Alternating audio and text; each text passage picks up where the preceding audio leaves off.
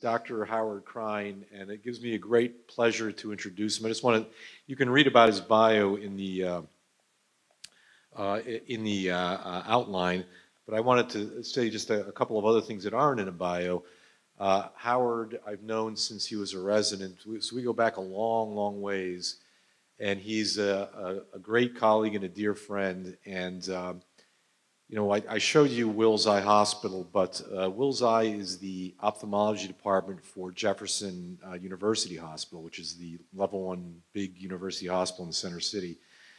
And um, I work very closely with two departments there, with uh, otolaryngology, ENT, and neurosurgery. And over the years, Howard and his colleagues have been instrumental in building really a world-class department. I mean, this is a place where you just can't do any better. And he's been a real linchpin in developing a program.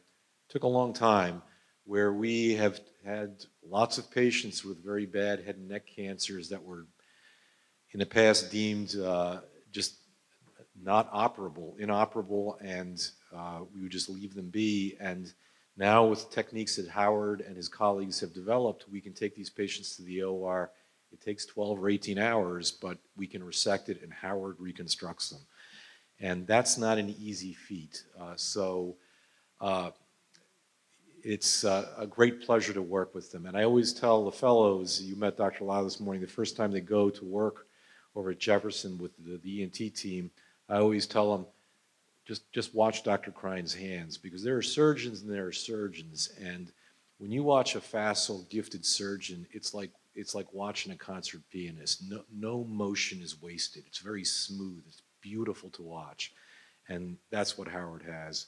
As uh, Dr. Bilyk um, mentions, um, you know, today's been uh, a lot of great information on um, a lot of the facial dystonias, but with the concentration on all the upper face. Um, we're going to now move into a little bit of the lower face and cervical dystonias, right? The lower face and neck dystonias. Um, I just wanted to introduce myself. He already gave me, you know, the same introduction maybe my mother would have given, so I appreciate that. um, I'm locally grown, born and raised in Philadelphia, grew up in Jersey. Um, I did a PhD in neuroscience, so this topic is near and dear to my heart. Um, I did it up in uh, at UMDNJ in Jersey because I'm a Jersey guy. Uh, then I moved down, came down to Philadelphia where I did my MD. I specialized um, in residency in head and neck surgery. So otolaryngology, which is ENT, um, a lot of people think just is like ears and boogies, but it, it gets real, um, it gets very interesting and very in depth. We become experts in literally just the head and neck region. And believe it or not, it, I mean, it can take a lifetime to really um, learn the intricacies of that area. Um, fell in love with facial plastics and reconstructive surgery. And so I actually have on here VCU, and I was thinking, nobody's going to know where VCU is. Dr. Berman, you know, uh, helped me, uh, helped me, uh, or put the picture up. So hopefully now all of you know VCU is, uh, is a Virginia Commonwealth University down in Richmond. So that's where I did my fellowship. And then came back up here, and as Dr. Bilyk said, um, have uh, built along with my, uh, with my partners, um, the facial plastics and reconstructive surgical division of the ENT department and where we do microvascular surgery. We have a facial nerve center um, and we have a center for facial aesthetics. The interesting part about all of that, the microvascular, the facial nerve, and the aesthetics all really work together to, I think, give the best outcomes for all these kinds of things because it's not just about knowing how to do a reconstruction. Reconstructions aren't any good unless people can go out in public and look and act normal, whether it's going to dinner, eating, or just talking to somebody. So, um, just to go back and refresh everybody, right? There's a lot of, of anatomy in the head and neck region. The, the things I want to talk about as we go into lower facial um, dystonias is, right, there's really um, subsets of muscles. And so we have the muscles of facial expression. And then what I'll talk about also is muscles of mastication. The muscles of facial expression, and there is a whole host of them, are all controlled by the same cranial nerve. It's cranial nerve 7. And if you look at the, and I think there's a, can use this as a pointer, but you can see it literally any expression that you make when you smile, when you cry, when you frown, when you look curious, all of those are done by these small muscles all around our face, our head and neck region. So you have the frontalis, the procerus, the corrugators. Uh, I'm not going to name them all, but the important thing is these are all smaller muscles and all controlled by the same nerve. Um, the cranial nerve 7, which we talked about, it actually spreads out almost like a hand. Comes out of the skull base, wraps around, goes through your parotid gland, which is on the side of the face, and then innervates all these muscles in a, in a, in a very interesting um, pattern. There's some redundancy, but not a lot. We have an upper division and a lower division, and then a sort of meshing of the upper and the lower division for the mid face. Um, and so we know that if you lose the upper division or something happens with the upper division, you're not going to be able to raise your eyebrow. You're, you might get an ectropion where your eyelid um, hangs, or you won't be able to blink. Um, the interesting part about that is we also have the other subset of muscles, which is the muscles of mastication. These are deeper and bigger muscles. So the main muscles of mastication, which are all innervated by the, by the trigeminal system, are the temporalis, the um, medial pterygoids, the lateral pterygoids, uh, and the masseter muscle. So subset, different subset of muscles and these are the muscles that are more involved, not only, but more involved in a lot of these dystonias. Why is that important? They're deeper, they're harder to hit with Botox for treatments. It really becomes an art to try to get into these deeper muscles, especially when um, we have some of the, um, the, uh, the, the, lower um, jaw thrusting and, um, and, uh, and writhing. So you've been, listen, most of you are probably um, know more about dystonias than I do because a lot of you live with this. Um, but just a general overview, right? It's a highly variable neurologic movement disorder that's characterized by involuntary movements, and this is the important part, that are patterned and repetitive. You've heard all day, and I know most of you know already, the exact cause is not known yet, um, but it may involve the interaction or an alteration in several brain regions. Now, when I did my PhD, um, I actually did my whole PhD on somatosensory integration. So what that means is how do you how did your body know and if you if you can imagine how complicated it must be that if I drop something and I want to go pick it up or I hear a glass fall and I go to clean it up think about the intricacies of what the brain has to do to actually turn your attention to something and then, then actually take all the feedback from where you are, how you're standing, the proprioception, integrate that into your brain, and then tell your body how to move to smoothly and accurately accomplish the task of either picking something up, cleaning something up. Well, we know that a lot of that occurs in the basal ganglia and the surrounding structures. Some of it goes up to the premotor cortex, the cerebellum, the thalamus, but the majority of it is happening within this system called the basal ganglia system. We'll talk a little bit more about that um, when we touch on the deep brain stimulation. But there's two main hypotheses about these dystonias, right?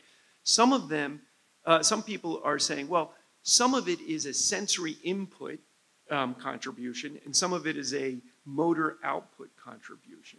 And in reality, it's probably a little of both. But the hypothesis or the hypothetical, um, uh, the hypothetical uh, uh, understanding of this is that if we can, if we do a high vibratory stimulation into a certain muscle, we can actually cause it to become dystonic. So we know some, there, there's got to be some kind of a a contribution from the stimulation coming in. We also know that if we block that muscle, if we put uh, lidocaine into it and make it so it doesn't feel, that contribution we, goes away and we can't make this muscle into a dystonic, uh, have a dystonic reaction. So we know that there is some kind of input that is contributing to the dystonias. the, the main hypothesis, though, is there's some kind of, of abnorm, abnorm, uh, ab, abnormal, couldn't get that word out, abnormal, that was abnormal, uh, some abnormal contribution of how the different areas in the basal ganglia in the brain are communicating with each other, right? And I always tell people that it, if, you, if you imagine that it's, it's just these, let's say, five specific areas in the brain, and they're all interconnected, and there's this just smooth flow and transition and transfer of information between these areas, all of a sudden, if you get an a interruption in the way these signals are going back and forth, that's why the dystonia starts to happen. so, dystonias can be congenital, acquired, or idiopathic, as you know. Congenital, you're born with it. Acquired, there might be something else, stroke, brain tumor, some other, um, some other abnormality that's causing the dystonia, or it can be idiopathic. It can develop spontaneously by itself. Um, classified by three main factors age of onset, the area of the body that's affected, and the underlying cause, right? So there's childhood onset, which is 0 to 12 years old, adolescent, 13 to 20, and adult onset. for what we're talking about today, very, very rare for children and adolescents to have um, the lower facial or cervical dystonias. So everything that we're talking about is really about the adult onset. Um, focal uh, or segmental, it just depends on where it is, uh, is part of the way we characterize it. Um, for what we're talking about, it's all focal. And then again, we talked about the cause, whether it's uh, idiopathic, symptomatic, or secondary, or, um, or uh, hereditary. So, how are they diagnosed? Unfortunately, there is no validated criteria to diagnose these, right? Which means there's no specific laboratory or imaging study. So it's a clinical diagnosis which is based on history and physical. Now, that doesn't mean somebody comes in, they tell you they have it, that you do your quick, your quick physical and you say, oh, it's, it's a dystonia. You have to still rule out that there's something else going on. So we must rule out other motor and neurological issues but once that's done, it becomes a, almost a diagnosis of exclusion. The problem is, um, and as patients, you guys know this, that delays the, the diagnosis and very often the treatment. And people spend years sometimes going from doctor to doctor to try to figure out what's going on with no real help. And uh, I think that's the real shame of um, the way um, the, you know, you guys as patients sometimes uh, end up getting caught in these in these uh, in these system. So I'm going to try to bridge um, what we talked about earlier, which is upper face, right, the blepharospasm portion, with um, the lower face. Um, uh, Meige syndrome is the way to do, to do that. It's also uh, known as Bruegel syndrome. Why is that the, the way to combine this? Because it's a combination of the blepharospasm, the upper face, and the lower face in oromandibular dystonia. First described in the 1900s, interestingly, two to one women to men. So it's more common in women, and it has a varied age of onset, very varied, literally 40 years. So um, people are, are sometimes diagnosed in their 30s, sometimes newly diagnosed in their 70s and 80s. First symptoms is re are really very subtle. And again, this is why we talk about sometimes there's a delay in diagnosis. Um, it just becomes like an increased, increased um, rate of blinking sometimes. And I think we've all seen people, and it does it. Some people get nervous and blink a lot. So it, some people will get diagnosed with anxiety, and it was early onset Meige syndrome. So um, anyway, increased rate of blinking, which generally um, then uh, moves on to uncontrollable squinting, sometimes eye closing. Um, you get light sensitivity, squinting um, of the eyes and closing of the eyes during speech, which is also why a lot of times people are like, oh, it's a Bell's palsy. We also often see that in recovering Bell's palsy. Um, and so, again, this is why we see a lot of these patients in the facial nerve center as well. Um, and it can get as bad where you can't even open your eyes. It's just this constant contraction. For the lower facial portion, the oral mandibular portion, a whole host of symptoms. And again, These are all based on the muscles that they're affecting, whether it's the facial um, expression muscles or the muscles of masti- mastication. More commonly, as I said, muscles of mastication are involved. So trismus, difficulty in open the in the mouth, bruxism, which is just teeth grinding, spasms of the jaw, sideways or deviations of the jaw, where all of a sudden your teeth don't feel like they fit together. Um, tight lip, um, I'm sorry, lip tightening or pursing.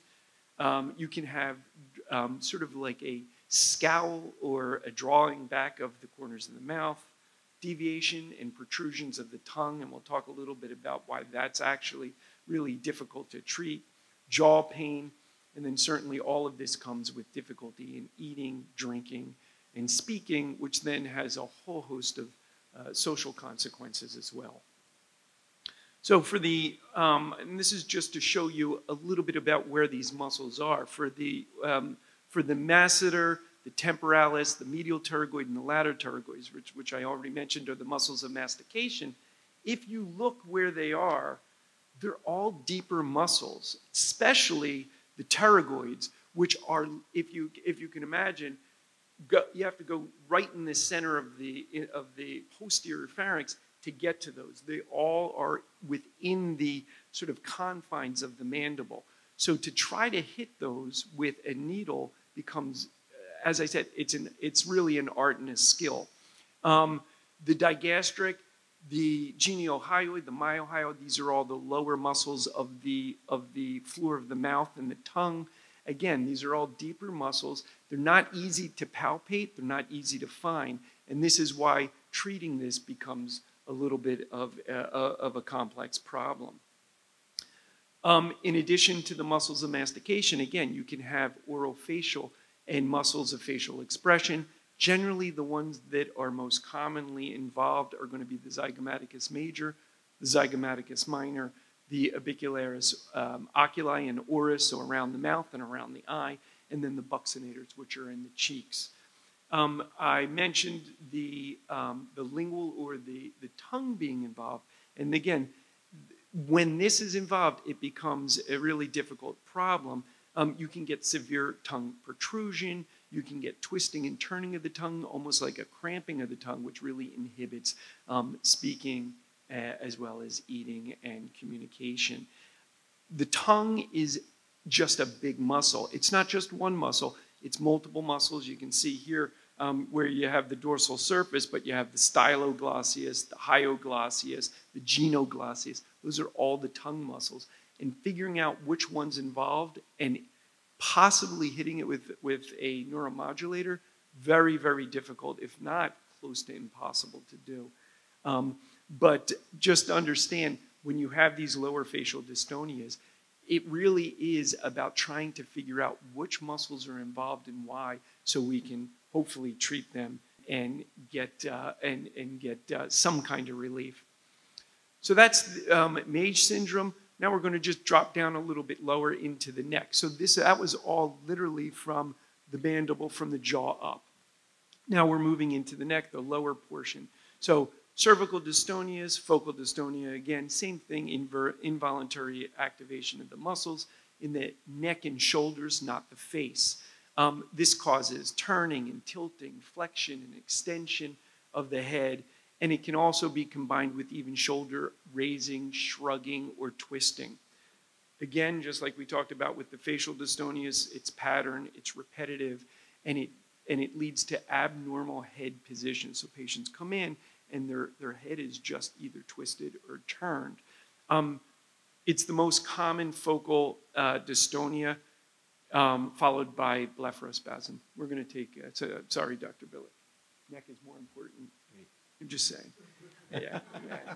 eye guy. Yeah.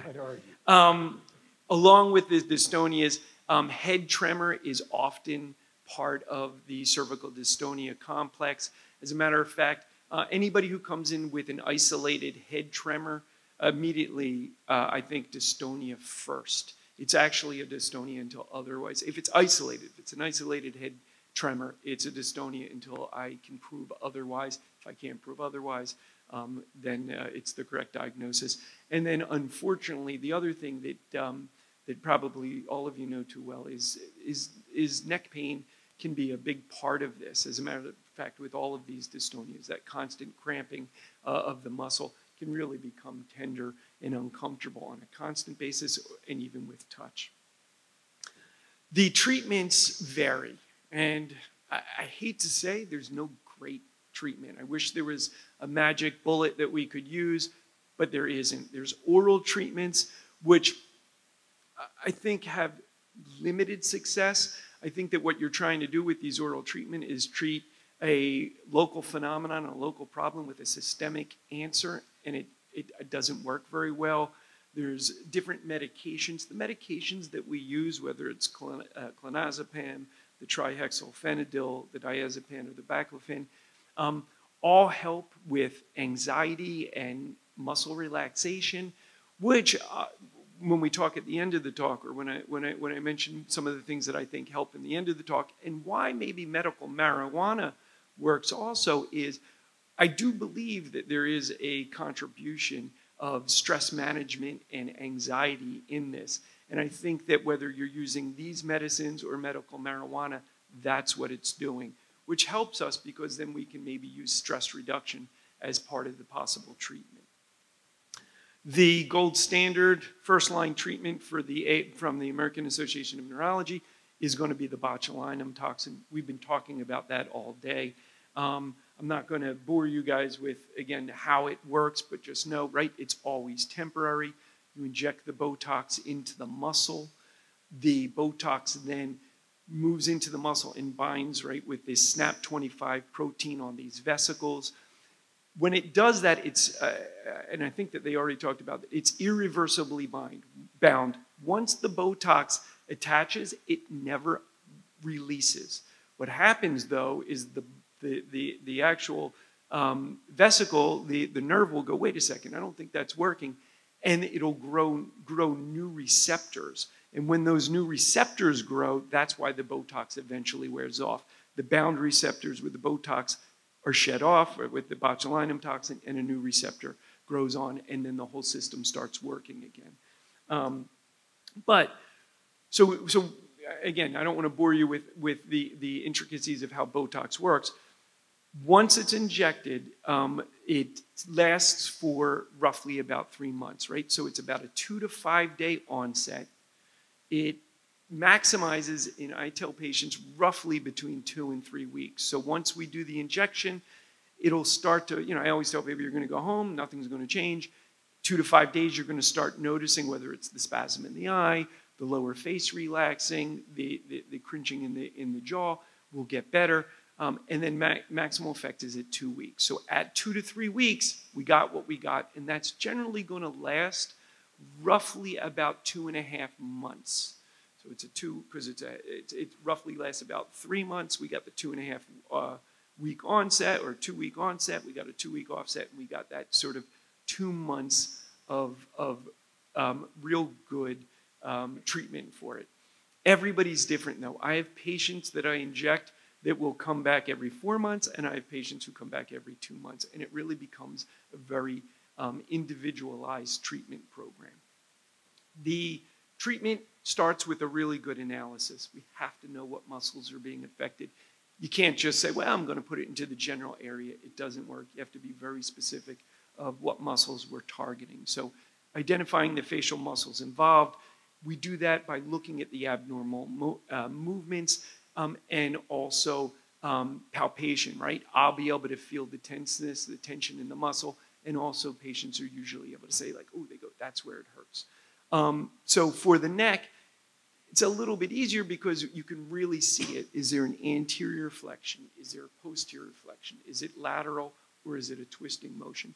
And based on what we see on the clinical exam is how we design the treatment. There's four different brands. Again, this is all stuff you probably heard before. Um, there's three that are Botox, I'm sorry, botulinum toxin A, one that is a botulinum toxin B, and those are the Botox, the Xeomin, the Dysport, and the Myobloc. No difference. We've used all of them. There, I see and hear that there's no difference. Patients have some preference sometimes, but I think that's just like, you know, I like this iced tea over that iced tea. still iced tea. It's just for whatever reason, some patient, patients feel like maybe the Xeomin or the Dysport might either work faster or last longer, but in overall studies, we see no difference. The thing that we do see is that at least 70% of the patients that we inject get some level of benefit, and that's pretty good. Um, as a surgeon, um, we don't like, I don't like to do, I shouldn't say we, I don't like to do things that I don't think are going to work. I don't do surgery and go, well, maybe we'll see, I don't know. When you get up to 70% uh, success rate in some kind of relief, that's okay by me. And uh, that's why I really do like using Botox for this. Again, we talked about the time results. And um, as uh, uh, Dr. Berman um, talked about with uh, medical marijuana, uh, you can have some adverse effects. If you hit the wrong muscles, if the Botox diffuses into the wrong muscles, you can get some ser really serious consequences, whether that's with swallowing, with speech, or appearance. The way we inject it, um, so we fill the needle, the syringe with the Botox. Once we've identified the muscles that we want, we generally use an EMG, electromyogram. So basically, it's a little machine. I, again, hopefully this isn't being redundant. Um, it basically helps us identify the muscle and the muscle activity. So when you put an EMG electrode into a muscle that's normal, when you move that muscle, if I put it into my shoulder and my shoulder wasn't moving, you wouldn't hear much. If I start moving the muscle, which indicates that there's activity in the muscle, there's going to be an electrical signal that goes and you hear it as a little clicking. When there's a muscle in contraction, abnormal or otherwise, if I'm doing it voluntarily, you hear it, it almost sounds like popcorn. It's like this, just so you can really tell what muscles you're trying to target by using the EMG. For the deeper, deeper muscles, we also use ultrasound because it can really help us identify the belly of the muscle. And combined with the ultrasound and the EMG, we can get very exact on what muscles we're targeting. And then once we do that, there's all different charts on how much Botox to put into what muscle. And again, it really does become an individualized um, treatment plan. I have patients that I have to use in some muscles 50 units. And if I did that in another patient, they would you know, look like they had a stroke and wouldn't be moving for four months. And I have patients who I put in six units. And if I did that in another patient, they would have absolutely no result. So what we do is we have to, it takes a few times to really get the identified and perfect treatment for patients. But once we do, we get on a schedule. And again, the schedule could be somewhere anywhere between two and two and four months and the patients come in, and it's a very quick, um, it's a very quick visit because once we're in, once we're in our groove, you come in, you get it done, and and uh, and then see in three, four months. Um, so that's the mainstay treatment for what for what we do um, at Jefferson. We talked uh, a little bit about deep brain stimulation. I think that uh, this is um, has tremendous potential. Um, we're not there yet. I think it's actually um, in the process of improving year after year. The more information, the more studies that are coming up. Um, as we talked about before, it's when an electrode is placed into the brain. Generally, it's placed into the globus uh, pallidus, the internal portion of the global, globus pallidus, which is part of that basal ganglia circuit. Um, and then we put the stimulator, which we talked about was that battery pack that sends a signal and does a direct stimulation. As I said before, I'm a big fan of you treat, you treat um, local or focal defects with focal treatments. When you try to do systemic stuff, I don't think it works as well. Um, and that's the only issue I have with maybe these, um, these transcranial stimulations because you're stimulating the whole brain, not just the area that really is going to be responding. So the, like I said, microelectrodes placed into the basal ganglia, you put the pulse generator on, and we're seeing some good results. And again, this is most important for patients that are really refractory to the basal, um, to, to the botulinum toxin treatment, and also for patients who you can't do the, the botulinum toxin. Like I said, patients who have a lot of tongue uh, issues or contributions. Lastly, uh, I just wanted to talk about possible benefits of other things. Physical therapy, absolutely. 100% we put everybody into physical therapy programs. It's not just uh, go to any general physical therapist, you know, down the street.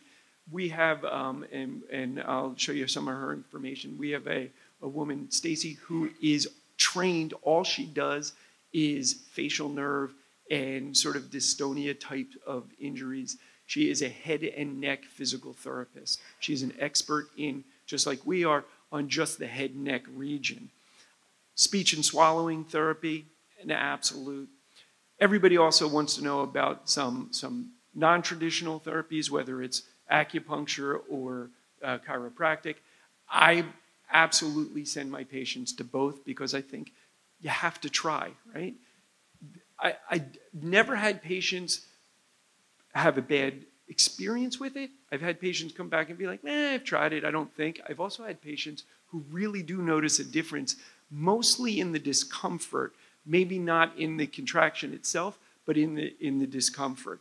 Stress reduction, uh, I talked about already. Um, believe it's a big portion of um, treating this. And then I think diet and exercise is also important. I don't think that if you're living an unhealthy lifestyle that's uh, high stress, um, you're going to do as well as if you learn how to relax a little bit and uh, have a healthy lifestyle.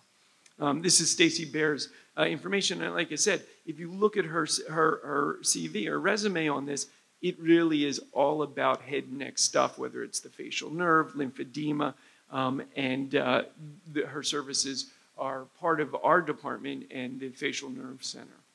So with that, uh, I am happy to take some questions. Uh, hopefully it was uh, informative and uh, somewhat enjoyable. Howard, that was fantastic. Thank you very much.